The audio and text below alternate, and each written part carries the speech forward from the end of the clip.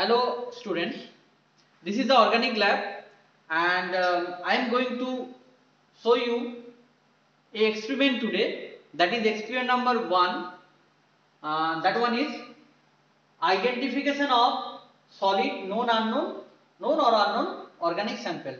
So in experiment number 1 generally we do lots of sample over here during the lab time. So out of that sample out, out of that sample today I am going to do a sample that is glucose. So I already took some solid glucose over here and um, to start this one first of all we have to perform preliminary test test and then after that confirmatory test. So for preliminary test we have to follow a flow chart which I already pasted over here. So according to flow chart according to flow chart the first test is solubility in water okay without heating. So to check the solubility um, first of all we have to take a test tube and then after that we have to take some solid sample from here. So I just take the solid sample. Then after that I have to add some we have to add some distilled water inside the test tube. Uh, see now just shake like this way.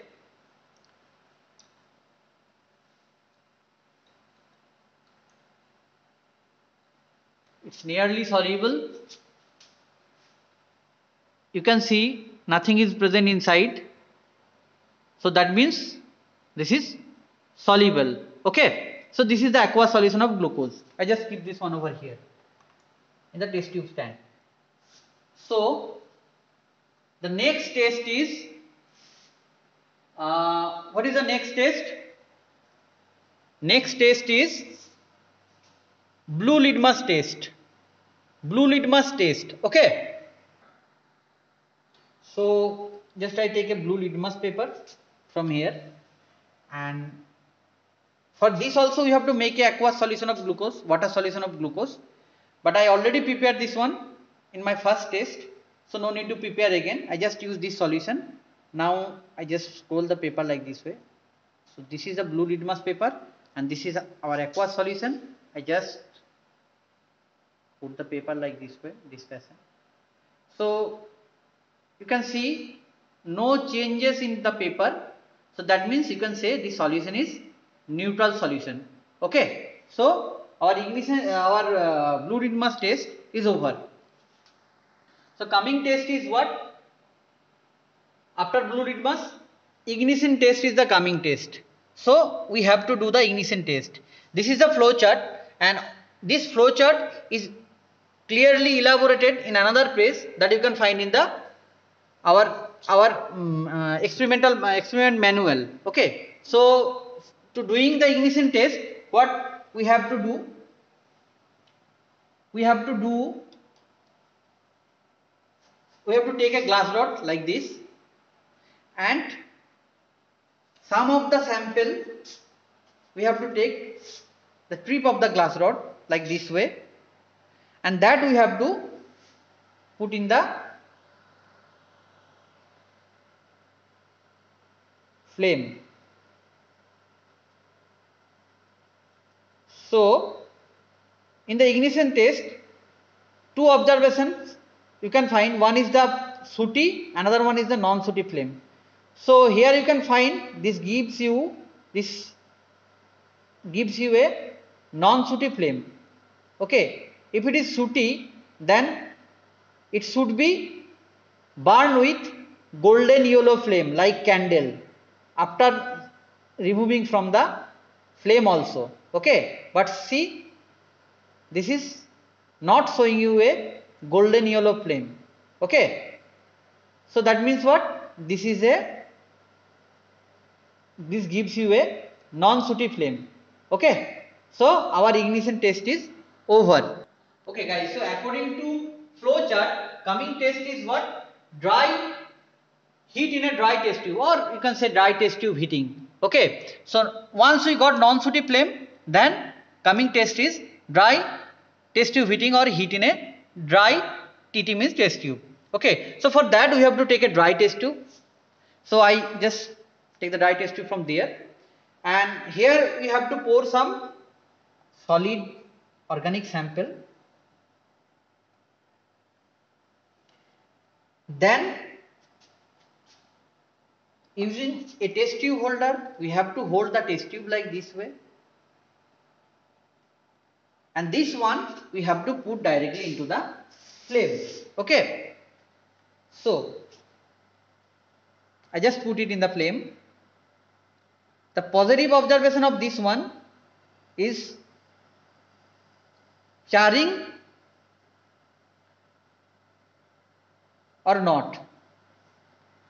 So you can see it is already charred charred and some browny blacky thing appear inside the test tube. Okay? So that means what? Dry test tube heating test for glucose is also positive. So that means this also completed. So after doing heat in a dry test tube this we get positive so according to flow chart coming test is what test with the I2 solution. Okay. So, if it give you positive,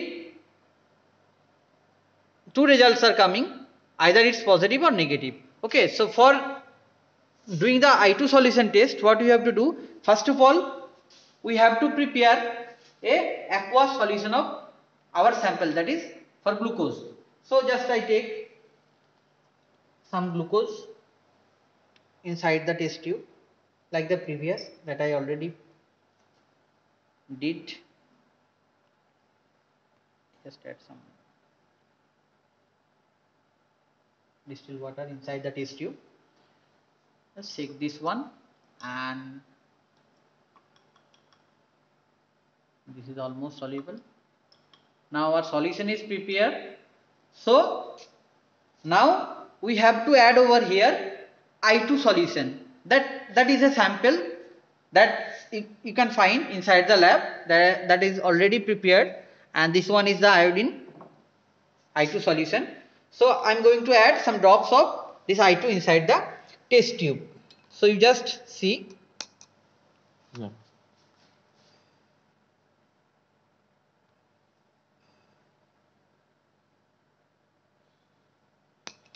So you can find no violet coloration over here. Okay this is not violet.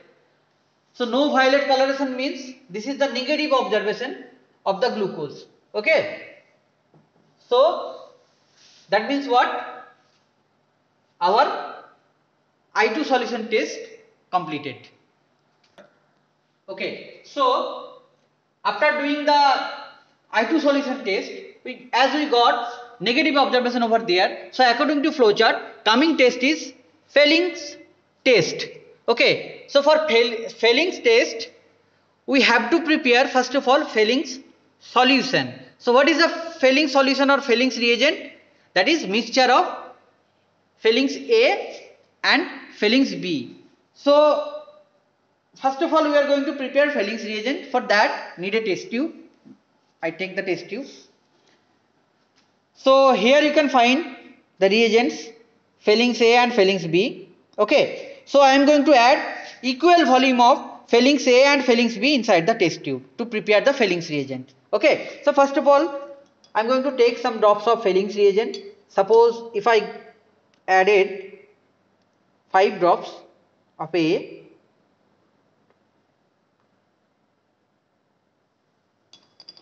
that means I have to add again 5 drops of B.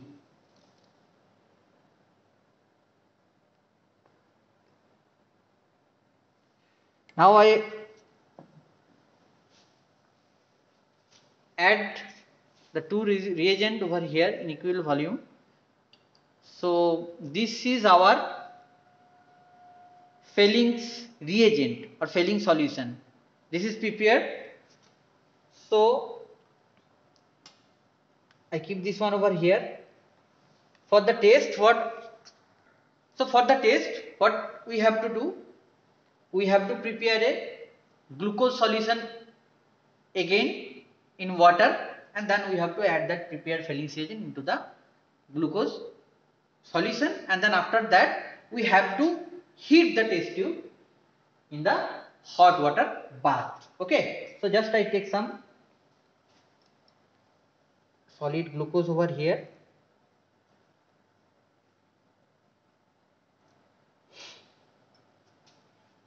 pouring some water distilled water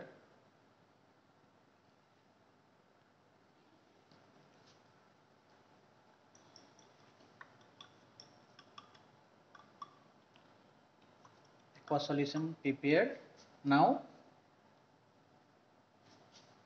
I pour the prepared Fehling's reagent into this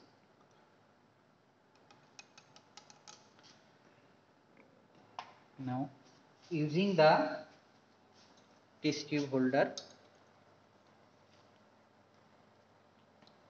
I just put this one inside the hot water bath. And after putting inside the hot water bath we have to wait some minutes. So just check this one whether it's coming or not. Some coloration is appear you can see let this one heat little bit more.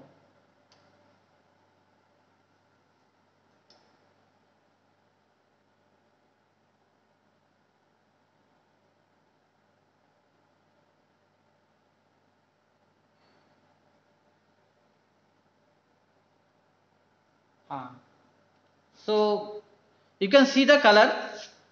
Um, you can say this this test is positive for glucose. Actually, you can find the color. Bricky reddish color is appear over here, and uh, this is the result of Fehling's test, and this one is positive for glucose. So Fehling's test is completed. Okay. So after the Fehling's, according to flowchart, coming test is Barfoed Barfoed test. Okay. So for that again we have to prepare a aqueous solution of glucose that is already prepared over here. Okay. So this is the aqueous solution of glucose and I am going to add Barfoed reagent into this. Okay. So here is the Barfoed reagent. This much volume is not needed actually. I just decrease some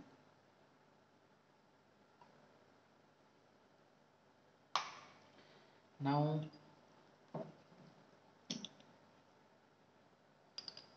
Barfoed reagent I added over here.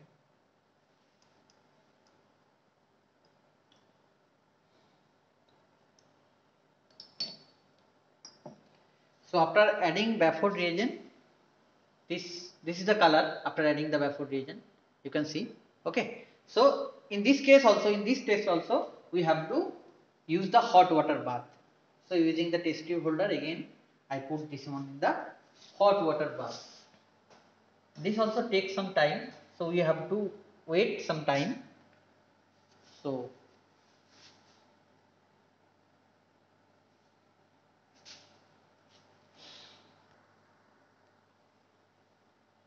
I just check this one. Yeah, something is appear over here. Actually, in this case also a red precipitation should come so this one is not like the previous test but at the bottom you can find some reddish thing is already deposited okay? And the color of the solution is also changed. It's not like the color when I add the Barfoed reagent initially okay? So that means this also positive. So according to flowchart we complete all the preliminary test and see after doing uh, once we got the positive observation in the Barfoed test you can say your sample may be glucose. Okay? So that means the preliminary test completed. Okay? So from preliminary test we get a idea that our sample may be glucose.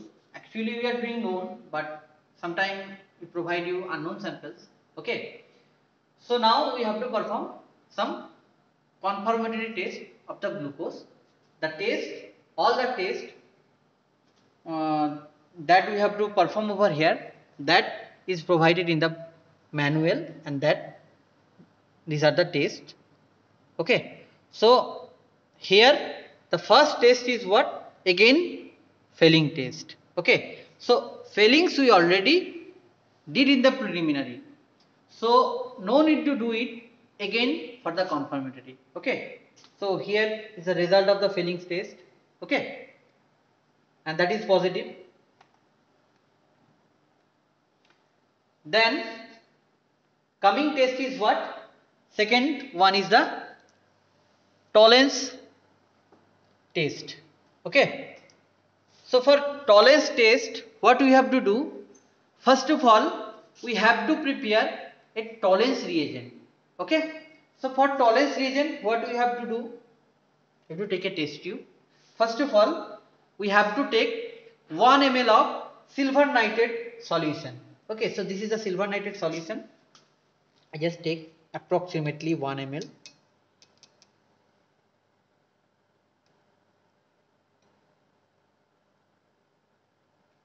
This is approximately 1 ml okay? So now here I am going to add some drops of the sodium hydroxide and after adding sodium hydroxide see this is the sodium hydroxide. This gives you a gray color precipitation. So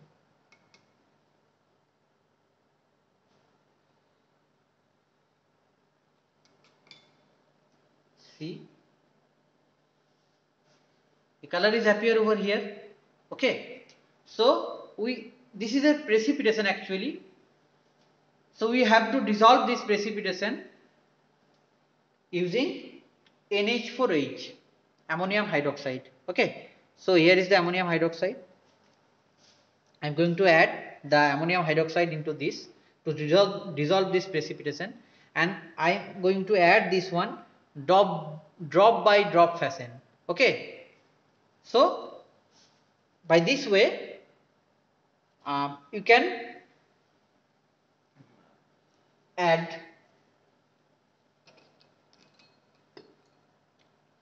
so I add some drop first of all. So always you have to take care of this one.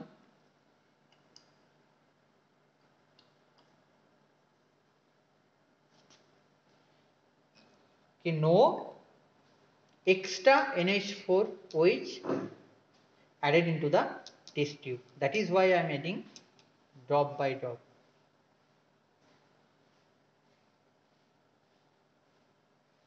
Again I added 3 drops.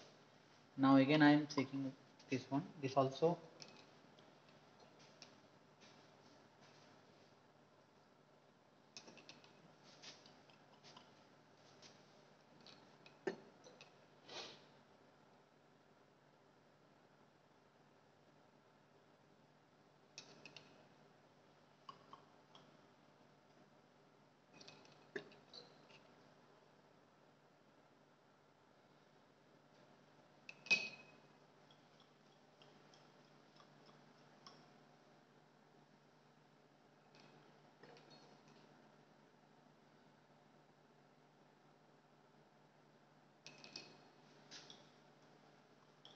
it's some of the parts is already dissolved. I think it's consumed some drops more. Oops, I added. Now see a col colorless solution is appear over here. Okay? So this is the Tollens reagent.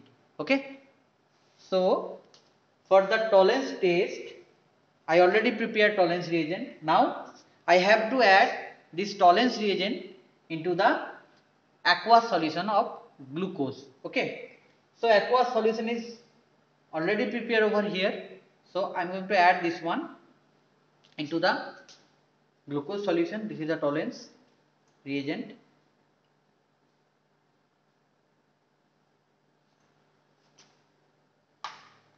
And this we have to add uh, heat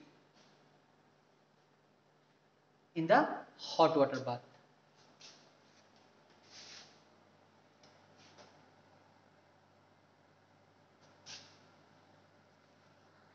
Okay, now just check. Oh, fine. So,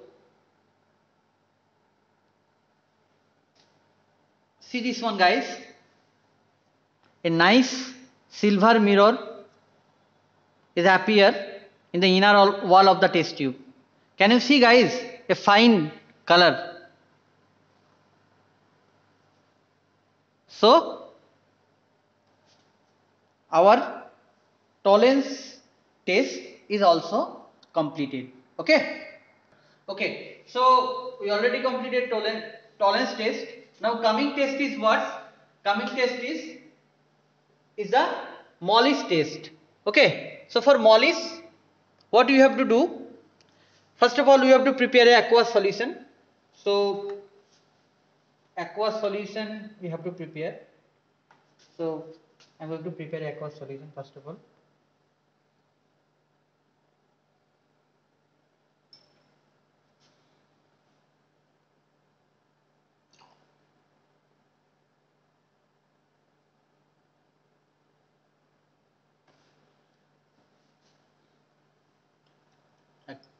Aqueous solution is prepared. Almost. Yeah. Solution is prepared. So from in the Molisch test after preparing the aqueous solution what you have to do? We have to add alcoholic solution of alpha naphthol okay. We have to add over here some drops of alcoholic 15% alcoholic solution of alpha naphthol okay. That is also a reagent you can find inside the laboratory. So, I am going to add this one over here.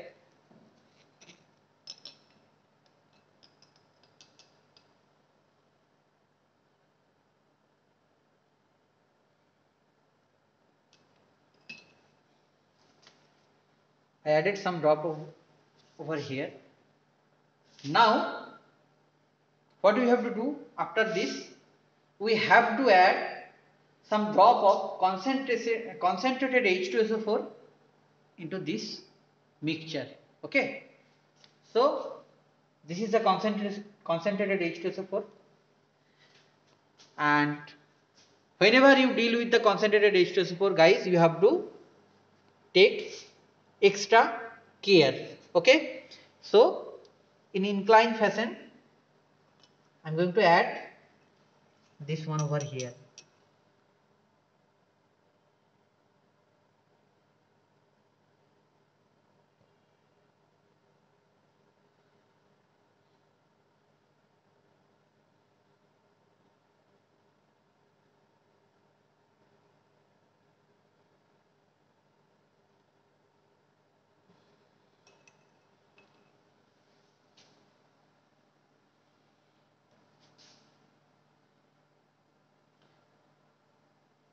Actually, in Molisch test, this type of observations generally appear. So, actually, a ring is coming in the junction point of the two mixture. So, this also positive.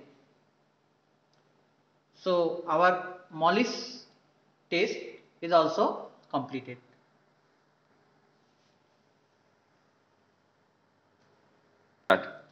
Okay, so after completing Molisch test, the coming test uh, is Barfoed test. Okay, so that we already did in the preliminary.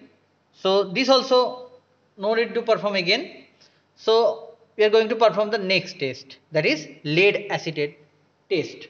Okay, so for lead acetate test, what you have to do? again we have to prepare a aqua solution of our sample. So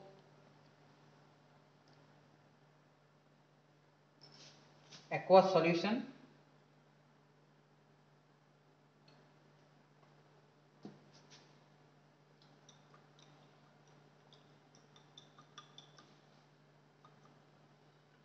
So aqua solution prepared. Here we have to add um, so we have to add lead, lead acetate solution inside the aqueous solution of glucose. Okay.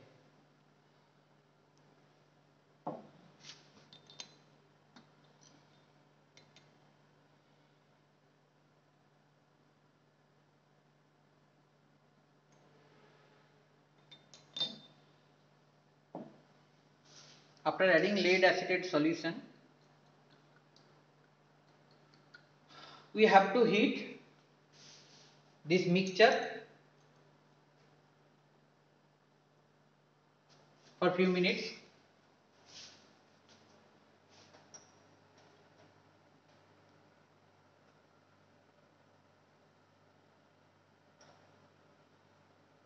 Actually boiling is required strong heat.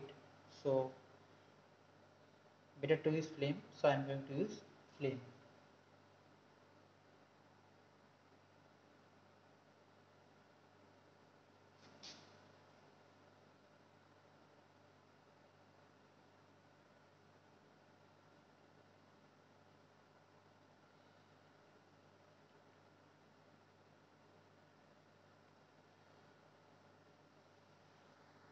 boil होएगा जगह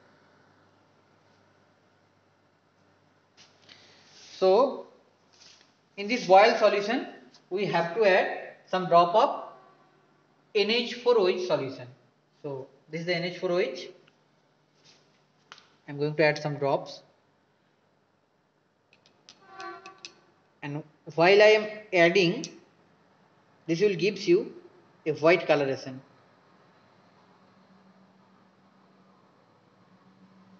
I have to add some drop more for a permanent white color.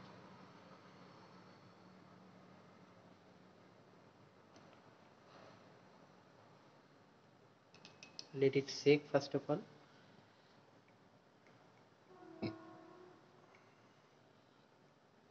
Then I am going to add again some drops of NH4OH.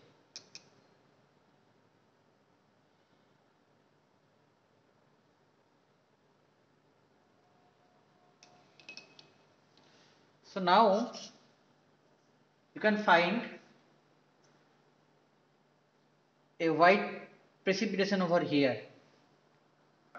So this thing after getting white precipitation once it appear we have to heat this mixture again okay so just put this one over here in the hot water bath and just wait for a while